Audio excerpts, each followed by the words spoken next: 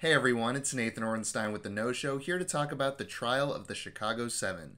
The Trial of the Chicago Seven is written and directed by Aaron Sorkin and stars Sacha Baron Cohen, Eddie Redmayne, Yahya Abdul Mateen II, Jeremy Strong, Mark Rylance, Joseph Gordon Levitt, Frank Langella, John Carroll Lynch, Alex Sharp, and even more people than that. Based on the title, it's pretty evident what this film's about.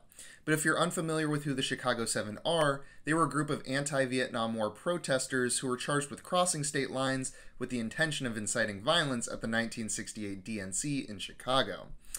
The movie follows the ensuing trial, and it also contains flashbacks that kind of fill in the gaps in the narrative that provide context for the trial. And I'm just letting you know now, this is definitely not an unbiased film. The movie takes the side of the protesters from start to finish, and if you can't get behind that, then you're probably not going to enjoy this movie. I just wanted to give that disclaimer right off the bat. Anyway, let's continue with the review. Of the big list of names that I dropped at the beginning of this video, I think there's one that truly stands out, and that's Aaron Sorkin.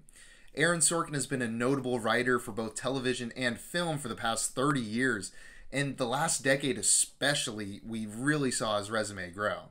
He wrote The Social Network in 2010, and that's unanimously considered to be one of the greatest written films of the past decade. He followed that up with Moneyball and Steve Jobs, which both feature his witty, fast paced dialogue, along with the expected monologue here or there. The big development in Sorkin's career, though, came in 2017 when he both wrote and directed Molly's Game. To mixed results. The writing was still relatively strong, though not as good as his previous three films, but the direction didn't really do much to build on that screenplay.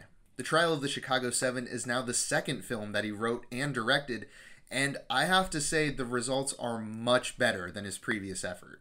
I suppose I should address the writing first, since that's where Aaron Sorkin likes to put a lot of his focus in. And I think The Trial of the Chicago Seven is written really well overall, though it's not without its problems. We still get Sorkin's trademark whiplash inducing dialogue, though not to the same extent we normally do. This is for the most part a courtroom drama, and I think that Sorkin does a great job of kind of reining in the energy in order to preserve that realism for a courtroom. Don't get me wrong, this is still a Hollywoodized script, but I think the combination of that Hollywood level of energy mixed with the realism of a trial really kind of meshes well here. Dialogue can get a bit tonally inconsistent, but it's not much of a detractor the real problem I have with the script is that some aspects of the story kind of seem to lack focus. I guess I'll put it this way. What we get is really good, but I think the film overall could have improved if we got even more. This isn't a simple case of, oh, I like the movie so much I wish it was longer. No, this is, there are definitely some people and kind of aspects of the story that don't have that bright light shined on it. And I think the movie could have definitely improved if everything was more fleshed out. But at the end of the day, The Trial of the Chicago Seven is an excellently written movie, and I really can't complain too much. In terms of direction, I really like what Aaron Sorkin did here. For one, it really feels like this movie has its own personality outside of the script.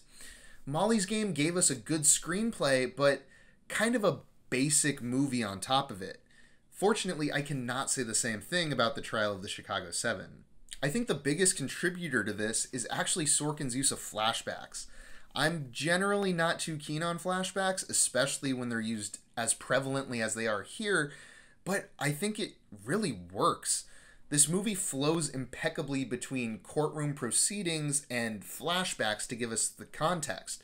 Normally, when you see a lot of flashbacks, it kind of stops the momentum of the movie dead in its tracks because the rest of the narrative isn't moving forward and we're stuck in the past. On the other hand, here we have a trial moving forward, and then when we flash back, it actually moves forward the context for the trial. If that makes any sense, I don't know. I think it works really seamlessly here, and I think a lot of this is due to the editing and music as well, but just the overall use of flashbacks is much better than most other movies that utilize them overall, between the writing and the direction, the movie ends up being perfectly paced, even though we're bouncing back between the present and the past. I will say that this direction style did lend itself to some tonally off moments, particularly using music, but they came at relatively inconsequential moments and definitely didn't do much to hamper the film as a whole. The last part of the trial of the Chicago 7 that I want to talk about is this monster of a cast. But strangely enough, I don't actually have too much I want to say about it. The cast overall is really strong, particularly with performances from Eddie Redmayne and Yahya Abdul Mateen II. But aside from that, I don't have too much I feel the need to address. I suppose I will talk about Jeremy Strong and Sacha Baron Cohen since they do serve as kind of the comic relief hippies in this movie, I guess you could say. Jeremy Strong is my favorite performance here, and he is so funny, but he's hilarious in everything he's in, so this isn't out of the blue or anything. Sacha Baron Cohen, on the other hand, is kind of a, I don't know, a wild card, I guess you could say. He is a 49 year old Englishman playing Abbie Hoffman, who is a 32 year old hippie from Massachusetts who went to college in California. This all makes for one of the most bizarre accents I guess I've ever heard, and I can't even label it as good or bad. I just think it's worth noting because some people will most likely be turned off by this accent, but I don't know. I didn't find it to be an issue or anything. That aside, though, I think the cast is really great.